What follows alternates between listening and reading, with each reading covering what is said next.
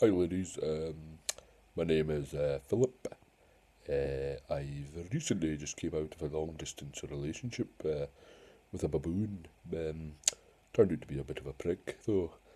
Uh, I like swimming, swinging, uh, flinging my shit at visitors. So, um, if you're interested, ladies, uh, give us a call.